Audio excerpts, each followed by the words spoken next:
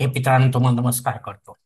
ओम श्री गणेश देवताय नम ओम श्री कुळदेवताय नम ओम श्री गुरुदेवताय नम ओम सर्व श्री इष्टलिंग देवताय नम. शिवशनाथ मित्रांनो मी कडाप्पा परत एकदा आपल्यासमोर हजर आहे. माझ्या धर्म करम चॅनलमध्ये आपले सहर्ष स्वागत करीत आहे. मित्रांनो पंचांगाचे आता आपल्यासमोर सादर करीत आहे. मित्रांनो आज दिनांक तीस जुलै दोन हजार चोवीस शालिवान शके एकोणाशे शेहेचाळीस संवत्सर क्रोधी आयन दक्षिण ऋतू वर्षा मास आषाढ पक्ष कृष्ण. तिथी मित्रांनो आजची दशमी तिथी आहे. दुपारी चार वाजून पंचेचाळीस मिनिटांनंतर एकादशी तिथीला सुरुवात होईल. वार मंगळवार आहे. नक्षत्र मित्रांनो कृतिका नक्षत्र आहे. सकाळी दहा वाजून तेवीस मिनिटांनंतर रोहिणी नक्षत्राला सुरुवात होईल. योग मित्रांनो योग आहे. दुपारी तीन वाजून छप्पन मिनिटांनंतर ध्रुव योगाला सुरुवात होईल. करण मित्रांनो विष्टीकरण आहे. दुपारी चार वाजून पंचेचाळीस मिनिटानंतर भाव करणाला सुरुवात होईल आणि उद्या पहाटे चार वाजून अठरा मिनिटानंतर बालव करणाला सुरुवात होईल. प्रमुख ग्रहांची राशीसाठी पहाटे साडेपाच वाजता अशी असणार आहे. सूर्य कर्क राशीत असेल गुरु वृषभ राशीत चंद्र वृषभ राशीत तर शनिदेव आपल्या कुंभ राशीत असणार आहे. मुंबई भागातील सूर्योदय असते याप्रमाणे. सूर्योदय सकाळी सहा वाजून सोळा मिनिटांनी असेल तर सूर्यास्त सायंकाळी सात वाजून चौदा मिनिटांनी असणार आहे. मित्रांनो या पंचांगाच्या आधारे आता आपण आजच्या पूजेसाठी लागणारा संकल्प सोडणार आहोत. तेव्हा आपण आपल्या उजव्या हाताच्या तळातळ एक पळी पाणी थोडे अक्षर एक फुल व फुलाची पाकळी आणि हा संकल्प म्हणायला सुरुवात करा. हरोम शिव शिव शंभो राज्ञ। प्रवर्तमान क्रम द्वितीय परार्धे। श्वेत वराह कल्पे। वैवस्वत मनवंतरे। कलियुगे। प्रथम पादे। जम्बुद्वीपे भरतवर्ष। भरतखंडे। मेरो दक्षिण विभागे महाराष्ट्र देशे व्यावहारिक चांद्रवान शालिवान शके एकोणावीसशे शेहेचाळीस। प्रभावादी षष्टी संवत्सराणामध्ये क्रोधी नाम संवत्सरे दक्षिणायने, वर्षा ऋतू, आषाढ मासे, कृष्ण पक्षे, मंगळवार वासरे कृतिका नक्षत्रे, वृद्धी योगे, विष्टी करणे, दशमी शुभतितो वीर गोत्रात उत्पन्न मी कडप्पा मो पाक्त दुरितक्षयद्वारा श्री पार्वतीपती परमेश्वर पित्यर्थ, विधिवत पंचोपचार, नित्य देवपूजा, एवं इष्टलिंग पूजा करेश मित्रांनो याच ठिकाणी हा संकल्प संपलेला आहे. तेव्हा आपण आपल्या उजव्या हाताच्या उजव्या हाताच्या तळ हातावरील संकल्पाचे पाणी समोरच्या तारणात सोडून द्या.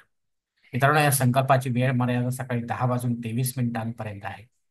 या वेळेनंतर जर आपल्याला संकल्प सोडायचा असेल कुठल्याही धार्मिक विधीच्या संपन्नतेसाठी तर कृपा करून आपण वरील बदललेल्या पंचांगाचा आधार घ्यायचा आहे नवीन संकल्प तयार करायचा आहे आणि त्या संकल्पामध्ये आपण करत असलेल्या धार्मिक विधीचा उल्लेख अवश्य करायचा आहे. तेव्हाच आपली धार्मिक सेवा ही संबंधित देवतांपर्यंत पोहोचेल आणि त्यांचा आशीर्वाद आपल्यापर्यंत पोहोचेल. आपले जीवन अधिक सुखमय पडेल.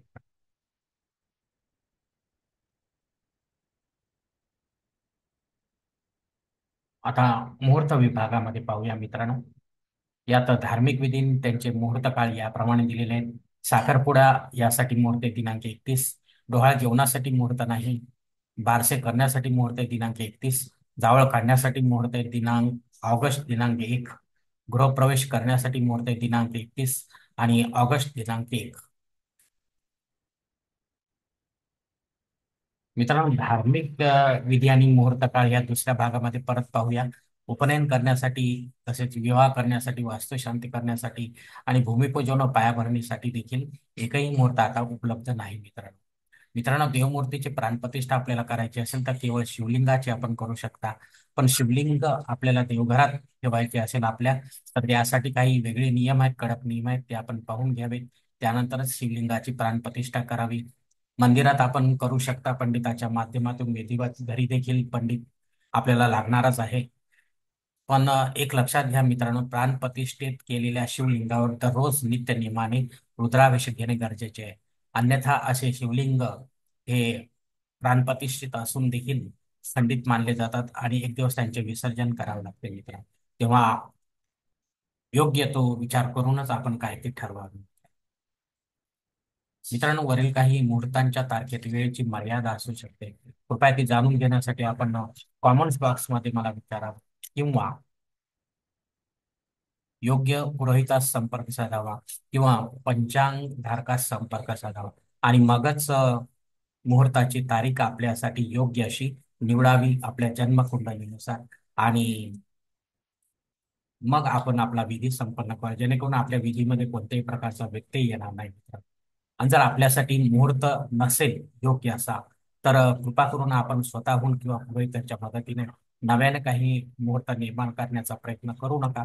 कारण तो मुहूर्त मुळात मुहूर्तच नसतो. तो त्याचा अशा डुप्लिकेट मुहूर्तांचा उपयोग दोघांनाही होत नाही. फलप्राप्ती शून्य असते मित्रांनो लक्षात घ्या